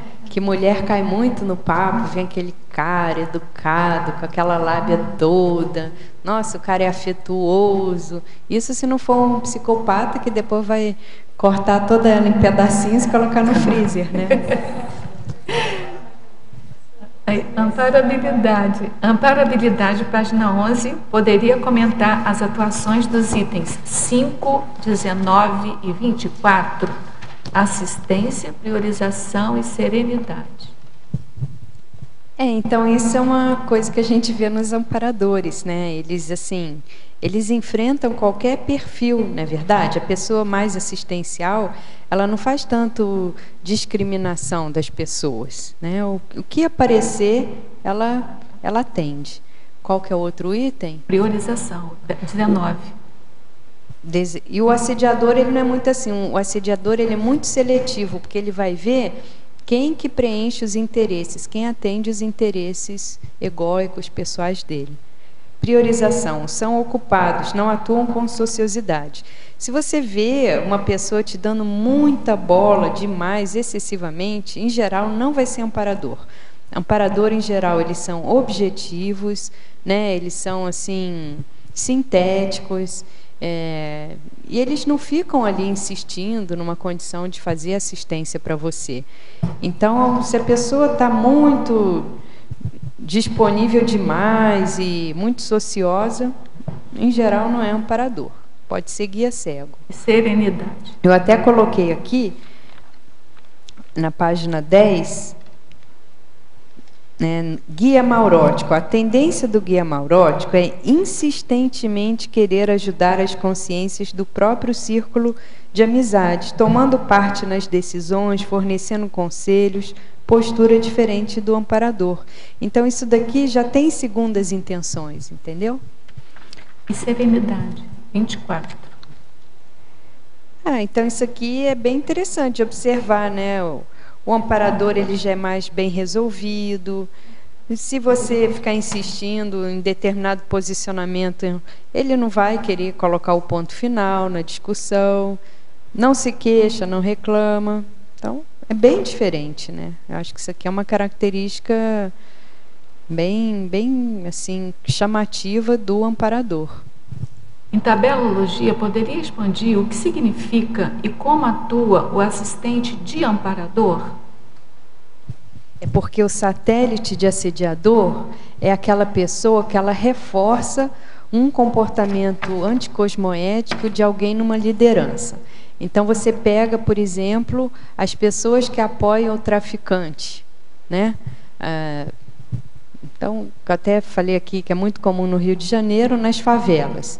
Às vezes toda a população da favela apoia aquele traficante. Por quê? Porque ele pro, provê uma série de benesses para aquela comunidade, não é verdade? Mas, de uma forma intencional ou não, eles estão apoiando um comportamento anticosmoético. E aqui o assistente de amparador já é o contrário, já é a pessoa que ela vai estar tá apoiando as atitudes e os comportamentos de um amparador. Então, o amparador ele não entra em determinados tipos de causa, o amparador ele não, digamos assim, reforça alguns holopensenes. Então, quando a pessoa ela está saindo dessa satelitização de assediador para uma de amparador, ela, consequentemente, na vida dela, ela também vai ter que estar envolvida em causas que são mais cosmoéticas. Tabelologia, página 1, opa, desculpa, página 12, poderia comentar os itens. Eu vou dizendo os itens e você vai falando. 9. 9. Carência afetiva. Então, isso aqui, a pessoa dependente, muitas vezes ela tem uma carência afetiva, porque como ela tem uma baixa autoestima, uma autodesvalorização, uma falta de autoconfiança, ela não consegue suprir minimamente aquela condição afetiva que qualquer adulto precisa fazer para si. Então, o que acontece é que ela acaba com essa carência virando presa de vampirização extrafísica. E aí ela vai ficando cada vez mais carente, né? Então, para cortar isso daí, ela vai ter que começar a trabalhar mais as energias para ela mesma prover as próprias energias e ficar menos dependente de energia de assediador. No 32, 32 que é, ah não, desculpa, 16, falta de discernimento, obnubilação, e aí a outra é prática de, da mental somática. É isso daqui porque em geral, quando a pessoa se submete, quando ela mais servil, é porque ela não tem uma capacidade assim de raciocínio muito bom, não é verdade? Ela está tão acostumada com aquela condição assim de aceitar tudo que vem de fora que ela não pensa mais, ela não pensa mais, ela é pensada pelo outro. E isso vai gerando uma obnubilação. Então a mental somática, no caso, vai ser a solução para a pessoa começar a despertar, né, essa racionalidade, essa lógica, essa capacidade de pensar, de refletir e que vai ajudá-la em outros setores. No 32, sectarismo, intolerâncias e quebra de panelinha, início do interesse pelas demais consciências, neo-interações. Aqui é porque quando a pessoa ela é satélite de um assediador, ela em geral, ela apoia algum tipo de líder que ele tende a ser mais partidarista, tá certo? Então, por quê? Porque um amparador não vai deixar a pessoa virar serviçal dela, dele. Né? Em geral, quem deixa você virar serviçal dele é o assediador. O amparador não vai fazer isso. Mas quando o assediador faz isso, é porque ele quer que você tome partido do, da ideologia dele, do, dos interesses dele, daquilo com que ele trabalha. É verdade? Então, Pensa só, a pessoa é, era lá um adepto do Hitler, né? Então é lógico, vai defender aquelas ideias sectárias, de eugenia, de né, outras coisas mais. E o oposto disso, a pessoa ela vai ter que ter uma mudança se ela realmente ela quer apoiar amparador. Amparador tem o lema para todos. Então, amparador não defende esse ou aquele, um grupinho, outro grupinho, né? O amparador defende todo mundo. Então, ela, para ela conseguir ficar mais próxima num holopensene de amparo, ela vai ter que mudar essa mentalidade. Tati, o nosso tempo esgotou, mas tem uma pergunta aqui, que é na tabelologia, perguntando se poderia explicar como fazer o treino de isca consciente. Será que você teria, assim, em duas palavras ou três, uma dica para ela? Vamos fazer um treino para isca consciente? Nosso tempo já Acho que isso aí é a TENEPS, né? A TENEPS, é, acho que é a escola para a pessoa se tornar isca consciente. Então tá, ela comprar, o, comprar ou baixar né, o livro, o manual da TENEPS, Sim. dar uma lida né, e começar. Uhum. Terezinha, a gente vai te, ficar te devendo. Ela estava com o microfone ali um tempo. Esse tema é assim muito importante para a gente, Kátia. Acho que você pode fazer mais verbetes nessa linha. A gente vai agradecer aí a você. A gente agradece agora e parabeniza por esse tema, que é bem complexo. A gente agradece demais a vocês aqui presentes é, pelas perguntas, pela participação aqui conosco, pelas energias aqui que, que vocês é, ajudaram nesse campo aqui. Nós agradecemos demais também as perguntas dos teletertulianos. Contamos com vocês nos próximos dias. Todo dia a gente tem tertúlia de meio-dia e meia até duas e meia. E são vocês, participantes, tertulianos e teletertulianos, que movimentam a, a tertúlia além do verbetógrafo. Né? Então, e a gente passa então para os nossos anúncios. Obrigado. As pontuações da tertúlia de hoje são 11 assinaturas no livro de presença, 15 perguntas presenciais e 41 perguntas respondidas online. Hoje nós temos um recado. A Kátia com o painel da África. E antes teremos os amigos da enciclopédia. Boa tarde a todos. Pessoal, estou aqui novamente representando o programa Amigos da Enciclopédia. O objetivo deste programa é viabilizar financeiramente a manutenção de toda a estrutura necessária para a elaboração da enciclopédia da Conscienciologia.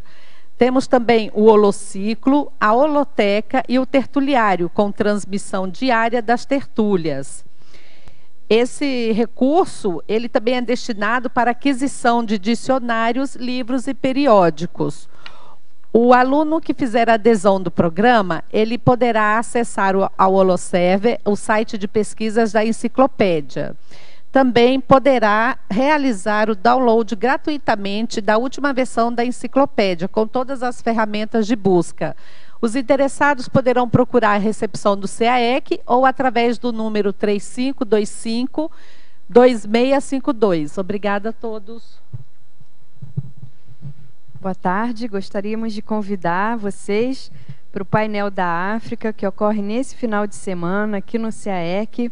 O curso será transmitido online, contará com a, pre... com a participação de uma série de especialistas que vão estar falando sobre diferentes assuntos relativos à África.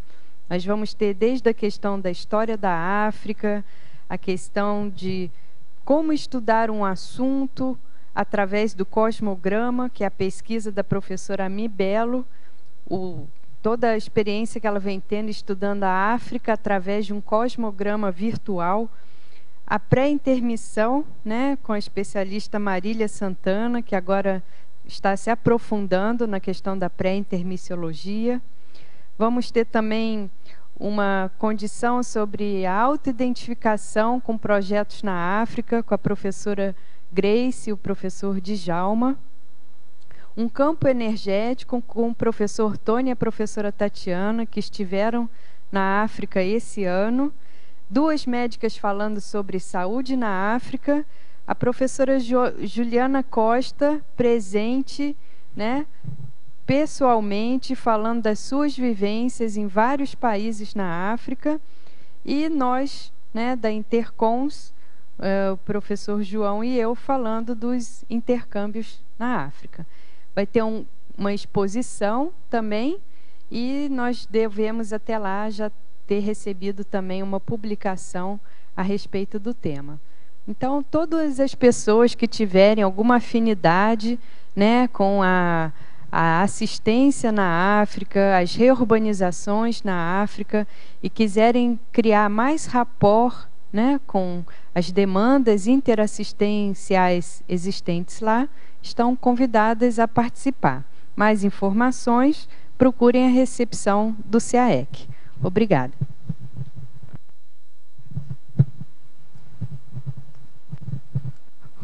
Para amanhã, teremos o verbete Técnica do Cosmograma, especialidade Cosmogramologia, com a verbetógrafa Ami Belo. Obrigado e boa tarde a todos.